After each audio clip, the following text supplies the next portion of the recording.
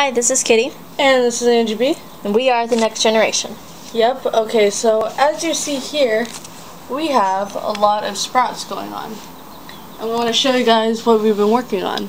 So, as you can see over here, you see yellow squash.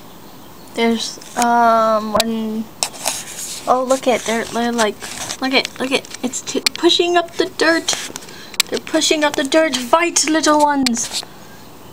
Okay. Um, this is watermelon. They are very tiny right now. Um, they all of these um, have been all of these were started last week, and we already have quite a few sprouts, which is cool.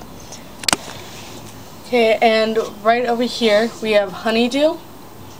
And right next to that is more honeydew. right here is cucumbers. Right, right here. Right, right there. Yep. These are cucumbers, and right here are pumpkin.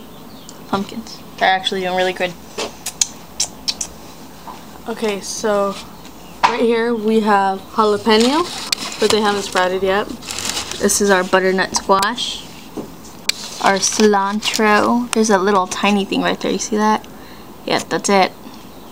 Um, behind that we have red onion and brown onion. We haven't seen a sprout for that. And serrano peppers. We have not seen sprouts for that. Hopefully they come eventually. And over there we have green onions. They're little. They look like little grass, but they're onions. Um, right here we have uh, cucumber, more cucumbers. And right here we have zucchini.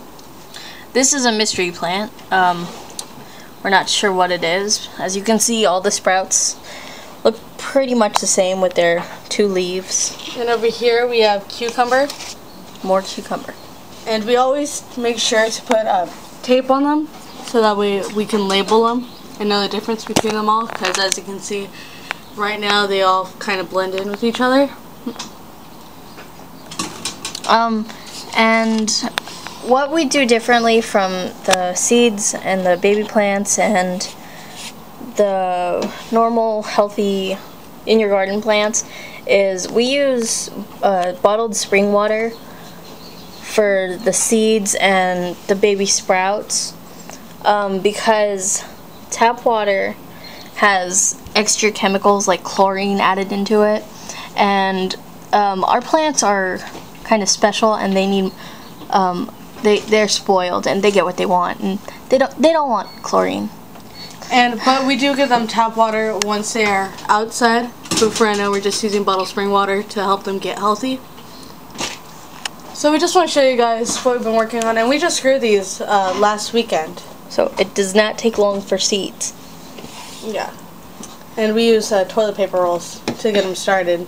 the you know the stuff that throw away yeah that's biodegradable guys.